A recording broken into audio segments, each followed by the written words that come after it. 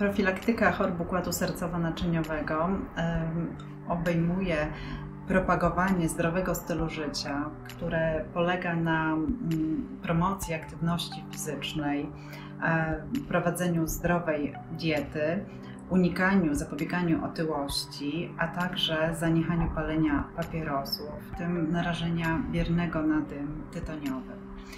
E, profilaktyka chorób układu sercowo-naczyniowego obejmuje również e, wczesną identyfikację czynników ryzyka chorób sercowo-naczyniowych i w razie potrzeby e, wczesne rozpoczynanie ich leczenia. Takimi czynnikami chorób układu sercowo-naczyniowego jest niewątpliwie nadciśnienie tętnicze, zaburzenia gospodarki lipidowej oraz zaburzenia metabolizmu glukozy.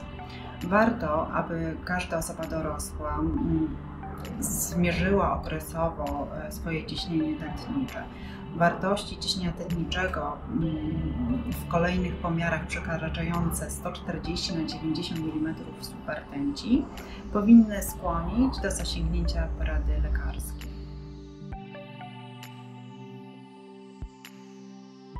Warto jest co najmniej raz w roku ocenić stężenie lipidów na podstawie badania lipidogramu profilu lipidowego oraz wykonać e, oznaczenie stężenia glukozy w surowicy. Ponadto warto, aby raz do roku ocenić morfologię krwi obwodowej, e, stężenie kreatyniny, która e, powie nam o funkcji nerek, a także wykonać badanie elektrolitów takich jak sód, potas oraz magnez. E, osoby, które narażone są w życiu codziennym na duży stres, osoby piastujące kierownicze stanowiska, e, warto, aby e, okresowo wykonywali spoczynkowe badania elektrokardiograficzne. Zapis elektrokardiograficzny powinien być zawsze interpretowany łącznie z obrazem klinicznym danego chorego. Nie każda nieprawidłowość stwierdzana w zapisie elektrokardiograficznym wymaga poszerzenia diagnostyki kardiologicznej oraz wdrożenia leczenia. Najczęściej spotykane nieprawidłowości w zapisie EKG to zaburzenia rytmu, zarówno komorowe, jak i nadkomorowe, zaburzenia przewodzenia, które często są podstawą do poszerzenia diagnostyki, m.in. o wykonanie 24-godzinnego monitorowania EKG metodą Holtera. Ponadto wśród nieprawidłowości, które możemy stwierdzić w zapisie EKG, mm, są cechy przerostu czy przeciążenia komór serca. E, I wtedy pacjenta najczęściej kierujemy na wykonanie przezklatkowego badania kardiograficznego. Badanie elektrokardiograficzne może nam zasugerować obecność choroby wieńcowej, natomiast e, w przypadku podejrzenia choroby wieńcowej e, bardzo ważny jest e, dokładny wywiad przeprowadzony z chorym i wówczas podejmowane są decyzje odnośnie przeprowadzenia mm, diagnostyki obrazowej tętnic wieńcowych.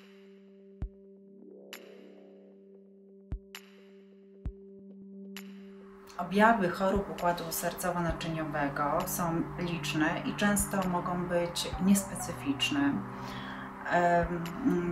Każda osoba dorosła, która zaobserwuje u siebie istotne pogorszenie e, tolerancji wysiłku fizycznego, zwłaszcza kiedy towarzyszy takiemu spadkowi tolerancji wysiłku, duszność wysiłkowa bądź ból w klatce piersiowej, który ma charakter bólu e, uciskającego, rozpierającego bądź mm, chorzy pacjenci mają uczucie zatykania, dławienia w okolicy zamostkowej, warto na pewno zasięgnąć porady lekarskiej, ponieważ takie dolegliwości mogą sugerować obecność choroby wieńcowej. Y, osoby, które skarżą się na poczucie kołatania serca, nierównej pracy serca, e, które mają problem z obrzękami kończyn dolnych bądź e, z nawracającymi zasłabnięciami, również powinny skorzystać z porady lekarskiej w celu wykluczenia chorób układu sercowo-naczyniowego jako przyczyny takich dolegliwości.